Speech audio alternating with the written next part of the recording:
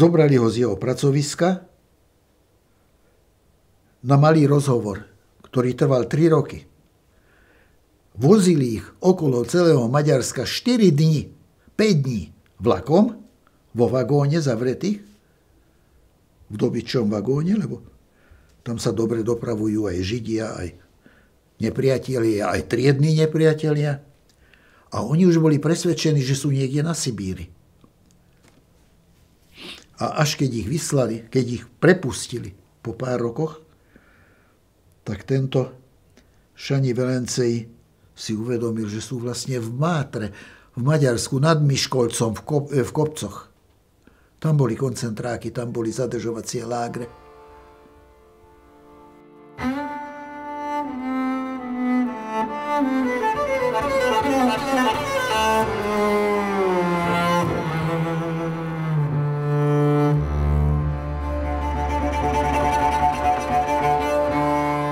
Narodil som sa 9. mája 1942 v Budapešti.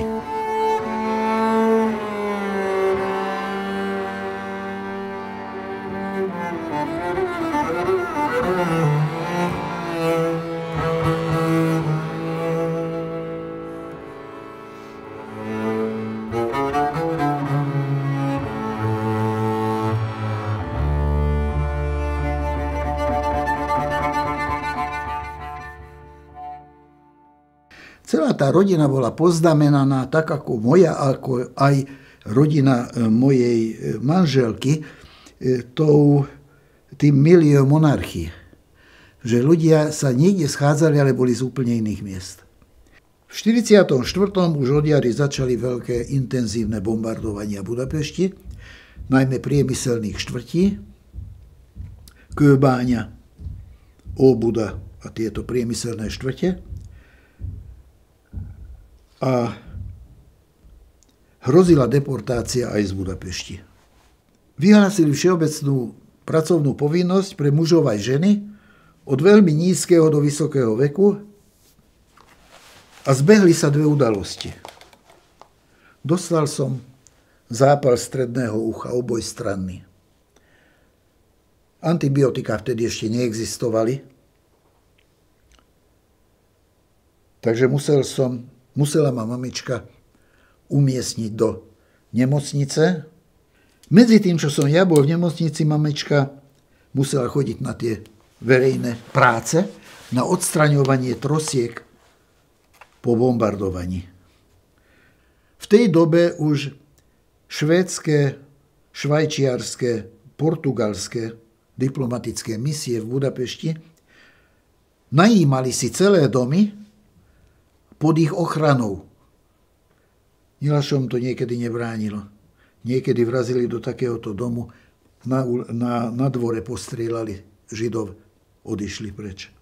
Asi 6 tisíc Židov postrieľali pri Dunaji a hodili do vody. Tam, kde je teraz ten pamätník s tými kovovými topánkami.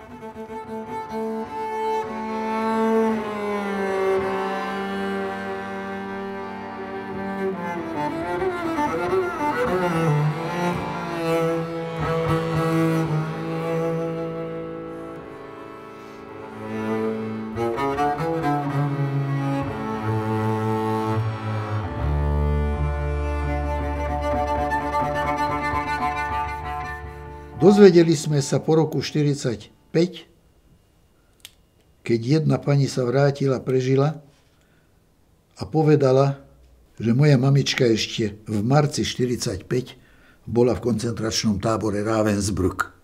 Raz, keď už sme mali dceru vydatú v Anglii a manželka odišla, tak v jej neprítomnosti som si sadol do auta a odišiel som do Nemecka asi 60 km na sever od Berlína do tábora Ravensbrück. A išiel som hľadať, či je to pravda alebo nie. Ubytoval som sa tam jedno veľmi pekné jazero. Nemá byť pekné ani škaredé, je to prírodný úkaz. Okolo toho jazera na jednej strane je mestečko Ravensbrück, na druhej strane je koncentračný láger ktorý nacisti vybudovali ako prvý špecializovaný koncentračný tábor pre ženy. A keď som sa díval z toho hotela malého na tú vodu a vidím, že tam je to. Veď aj podľa mapy som vedel, že tam mám ísť. Mal som všelijaké pocity a na druhý deň do poludnia som sa vybral na, druhú, na druhý breh toho jazera. A tam vidím správna budova, ubytovacie, vonkajšie, také pavilóny, ubytovacie. Potom vysvetlo, keď som sa tam s tým oboznamoval, že tam bývali SSácia. A potom tam 40 rokov žili, e, žili bývali dôstojníci sovietskej armády.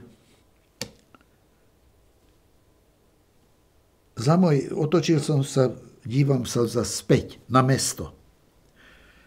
A nemal som duševných síl na to, aby som ja do toho tábora vstúpil. Nie to, že som tam prišiel, zaklepem, zatrepem, zazvodím a tu som. Nie. To pôsobí na človeka strašne hlboko a citové. A na brehu pod stromami boli také odpočinkové lavice. A ja som si sadol na, tie, na jednu z tých lavíc, sedel som tam asi dve hodiny a rozjímal som nad tým, že tu, za mojím chrbtom je tábor, už od roku 1934, hneď pod, keď vznikol Dachau, v tej istej dobe vznikol len ako ženský tábor Ravensbrück. A tam je mestečko, celkom slušní ľudia sa tam pohybujú, žili, žijú, žili tu ich predko s akými pocitmi tí ľudia tu, tam, tam, v tom meste, mohli žiť, keď vedeli, že na tomto druhom brehu, čo sa deje. Pracovníčky dnešného archívu, veľmi ochotné dámy tam boli. Tak som im porozprával, čo som, kto som, prečo som. Dostal som od nich materiály, ktoré ma doviedli k tomu, že transport, že moja mamička tam prišla s ktorým transportom z Komárna, že z Budapešti do Komárna, z Budína, to je Obuda, starý Budín, do Komárna zhruba 85 kilometrov, ich brali pešo, v Komárne naložili do transportu a odviezli do Ravensbrücku. V marci tam bola. V apríli začali vyprázdňovať Ravensbrück tými zlopovestnými pochodmi smrti smerom na Schleswig-Holstein a cez Schleswig-Holstein smerom na Hamburg. Že kam až v tomto pochode smrti došla, neviem. Že na tejto, v tejto oblasti niekde zahynula. Či nevládala, sadla si a vtedy okamžite niekoho zastrelili, lebo sa s nikým nebabrali či iným spôsobom ako neviem. A ja som trčal v nemocnici na zápal stredného ucha. Bol som v tej nemocnici a tam som zažil bombardovanie, zažil som kryty, odtiaľ sa tradujú moje prvé spomienky, jednak na, v nemocničnej izbe, vtedy trojro, necelko, necelkom trojročného, takej detskej postielke. Odtiaľ sa traduje vôbec tá spomienka, že som,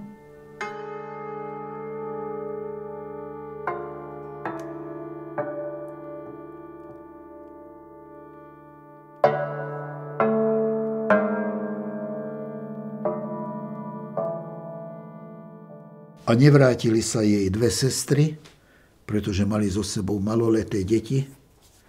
A ako individuum v Auschwitzi na rampe pri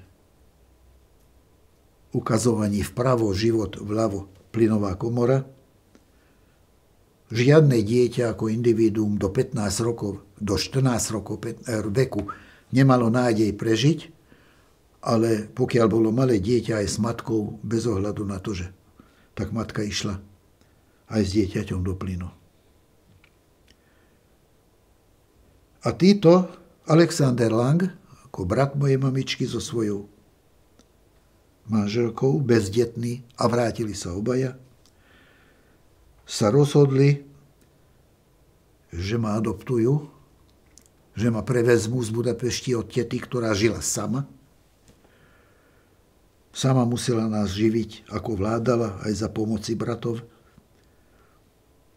Robila, takú, robila šatnárku v kine, tak z toho sa veľa nedá. Čo sa ja pamätám, že robila šatnárku v kine. A tak ja som v Budapešti medzi tým dva roky chodil do škôlky. Potom som prišiel do, do Nových zámkov. Bolo to v auguste 1947. V dobe, keď vrcholila hyperinflácia v Maďarsku, kde sa vydávali bankovky, ktoré v ten deň vydania strácali svoju hodnotu, nie len tisícovky, ale milióny, a potom už bilióny, ako len chcete 28 nul, a pamätám sa na ten moment, keď sme v 47. z Budapešti prichádzali do Nových zámkov, oni obidvaja prišli pre mňa. Ja som napríklad nemal čapicu. Strašne pršalo. Oni mi dali kapesník so štyrmi uzlami v rohoch na hlavu, no ale čo kapesníku chráň? Ja som nemal. Čo sa týka mojej mamičky, tak hovorím, v Budapešti nebola. Tam bola getoizácia, ale už neskôršie. To už ona nezažila, lebo ju Nilaši zobrali skôr. Moje manželky, matka, ona to tu rozprávala minule, že v Nových zámkov bolo najprv geto od mája a 5. júna začali stiahovať peším pochodom bezmála 2000 ľudí z vnútorných ulic mesta. Máme mapu presnú, kde to bolo veľmi zanedbaná časť. Vtedy nebola verejná vodovodná, verejná kanalizácia, verejný vodovod. To nič neexistovalo v tom meste. Len otvorené v záhradách vykopané jarky. A manželkina mama pred ňou bola vo vysokom štádiu tehotenstva, mala svoju sestru, tú nedoštudovanú, ktorú z Bratislavy tiež vyhodili, ktorá pracovala v nemocnici. Tam sa už pozdala so svojím budúcim manželom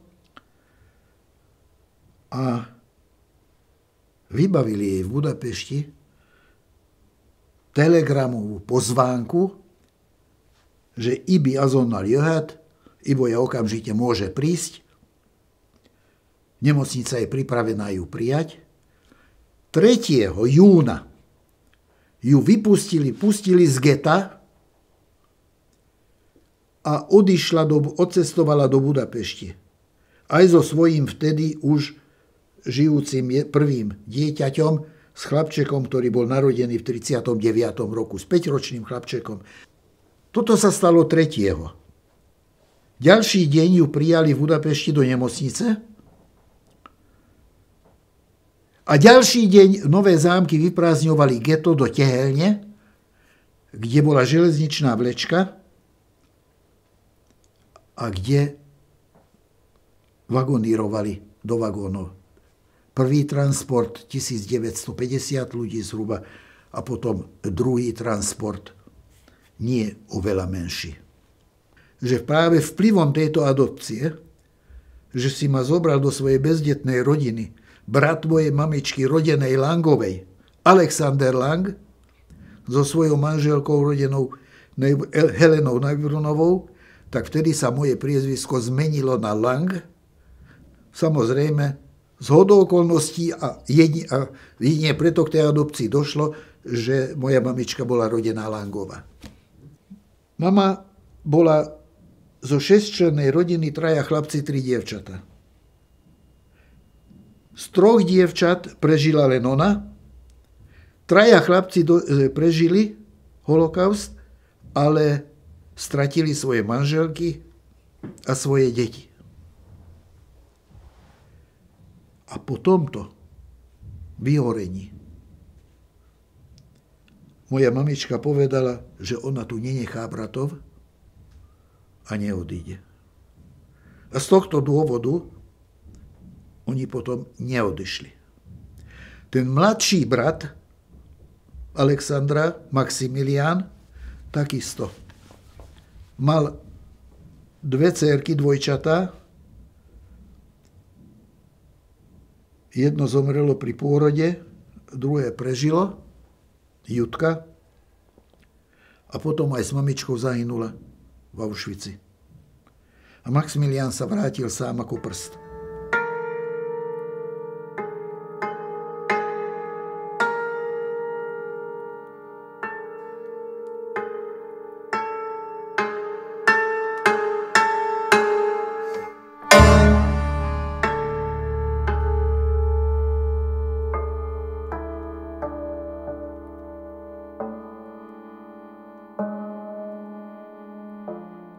Zo strany mojej manželky bola iná filozofia. Ako som vám hovoril, že mojej neskôršej svokre aj s chlapčekom sa podarilo odísť do tej Budapešti včas. Tam sa potom stretli aj s manželom, vracali sa domov a mali takú filozofiu. Vedeli, že nové zámky boli trikrát bombardované. Oni si povedali, keď dom je zbombardovaný, odídeme. Keď dom stojí, zostaneme. Dom bol síce, postav, bol síce poškodený, ale stál. Takže tak je to niekedy triviálne z hľadiska dlhodobého uvažovania životnej stratégie. Aj takéto triviálne dôvody, ktoré sa nám dnes, teraz, odstupom času keď sa vrátil vtedy, keď sa moja svokra vtedy vrátila v, vo vrecových handrách a vo vojenskej baganži, v ktorej chodila ešte niekoľko mesiacov, možno, že tento ohľad, tento dôvod bol dôležitý. Z dnešného hľadiska sa na tom smejeme alebo plačeme. Viete, vtedy sa hovoril taký vtip, že Kón sa vráti z koncentráku schudnutý, zničený, stretne Kováča, svojho bývalého spolužiaka, ten ho objíma, aké dobre, ty si prešiel, juj, teším sa ti a tak ďalej. A čo, ako si bol? No, hovorí, vieš, pochodil som koncentračné tábory v polovici Európy. A nič mi nezostalo okrem toho, čo je na tebe prvýkrát, lebo hranice tiež boli zavreté, a to zase musím potvrdiť, že to sa týka nie len mňa, lebo e, manželka tam mala svojich starých rodičov a tetu a stríkov a ich deti a podobne. Do 55. roku od, e, boli uzavreté hranice. Nedalo sa cestovať len na pas, ktorý vydávali výlučne v Prahe, kde sa do Prahy muselo dostaviť pre ten pas, no ceremonia, jak ale aj s takýmto pasom nás prvýkrát pustili v decembri 1955. Čiže rok pred udalosťami.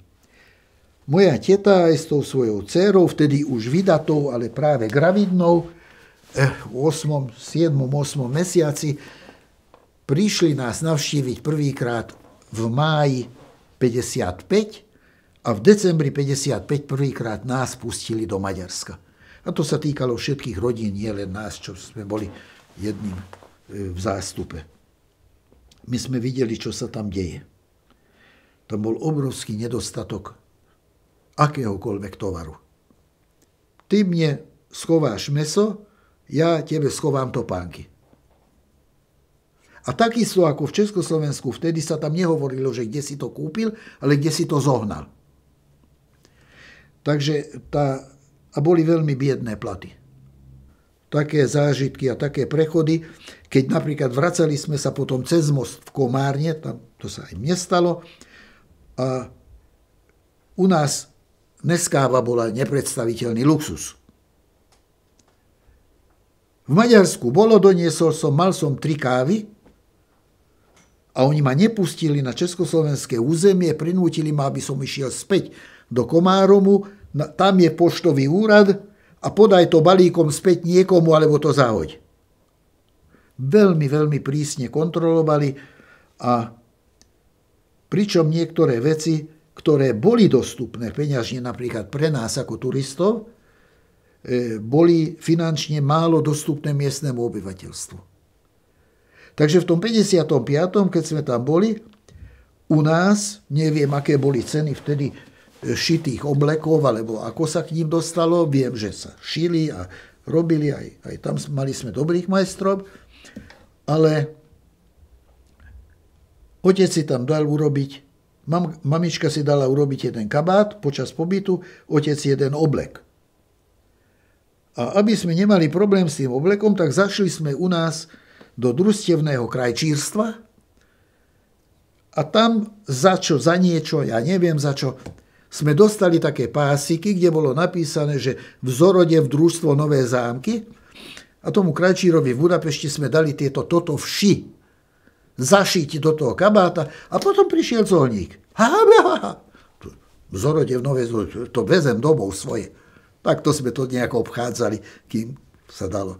Potom to už bolo miernejšie, ale podstatne neskoršie. Podstatne neskoršie. Takže to bola ceremónia dostať sa do Maďarska. Po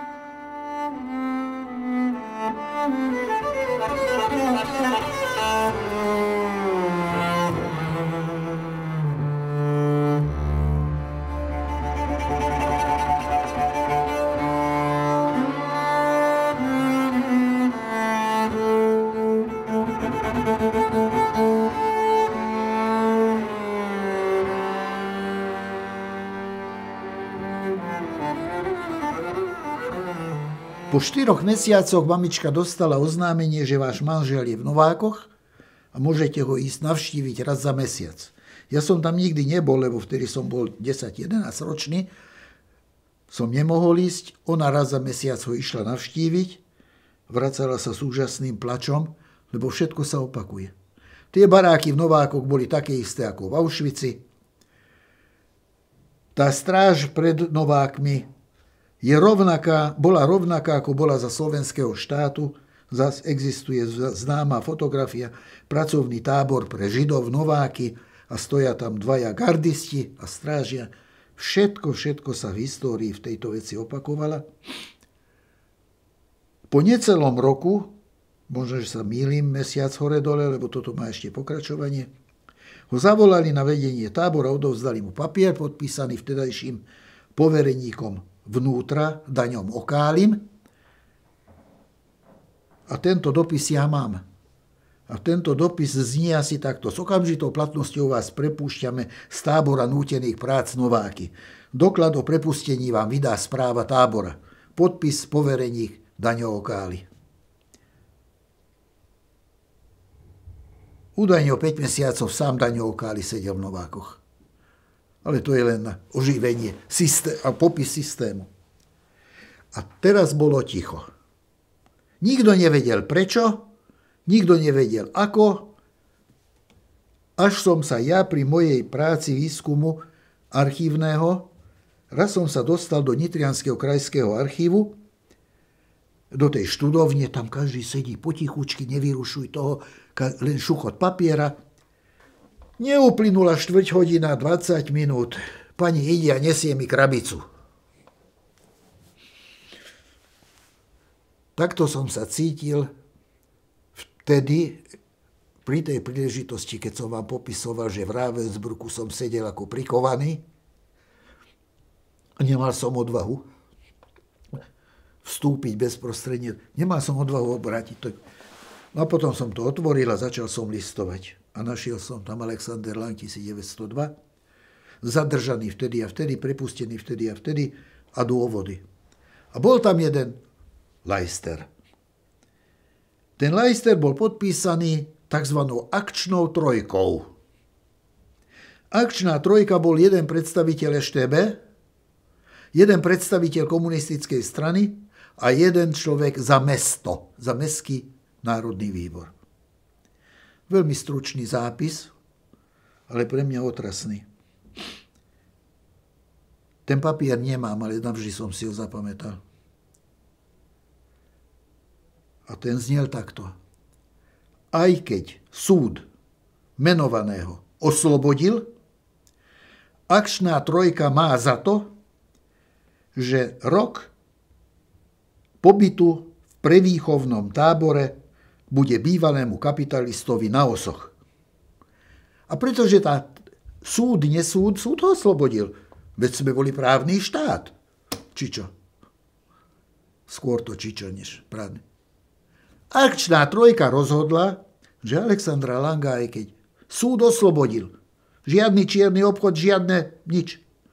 Ale rok pobytu, alebo dva roky, proste mu bude dostatočné. To je, toto je úžasný. Súd povie, ideš tam na 6 mesiacov alebo doživotne. Alebo niečo medzi tým. Tento povedal, že domnieva sa, že asi bude dosť na to, pre výchovného tábora. A tak dvaja koženokabátníci prišli, Langa zbalili, pretože akčná trojka rozhodla a tak išiel. Tak chcel by som najprv vymedziť, že to nie sú, že obetia holokaustu nie sú obeťami druhej svetovej vojny. Obete holokaustu sú obeťami veľmi sofistikovaní až vedeckými metódami na vtedajšej úrovni zorganizovanej hromadnej vraždy civilných obyvateľov s jedným jediným cieľom vyhľadiť židovský národ a židovskú kultúru. Takže vždy si dovolím poznámku za prvé, obete holokaustu nie sú obeťami druhej svetovej vojny.